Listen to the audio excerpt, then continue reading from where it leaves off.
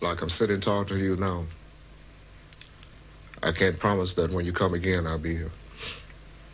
Because before you came, I had to get out the hospital for, from trying suicide for the third time. The uh, good Lord doesn't appear to have treated you very well to have put you through all this. I still believe in him, but I guess life, you live a life for a reason, for a purpose. Now, what that purpose is to have me still here, I don't know.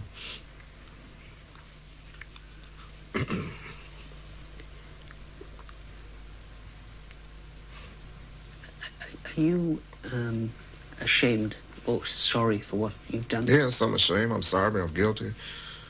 But I did it. What, what else can I tell you? It happened. You're looking at someone that did it. Can happen if you go to war. Those are the type of things will happen. It can happen to anyone. After they train you and they program you, it can happen. It happens. That's reality. That's what war is. War is not something that I shoot at you, you shoot at me. Well, we take time out. You know, well, don't shoot me here, don't shoot me there. You, the war is war. It's killing all type of ways. And that's where we don't need another war.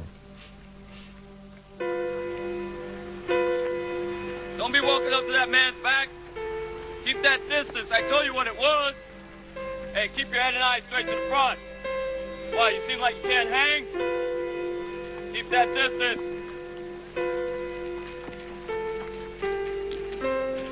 Hold that weapon up.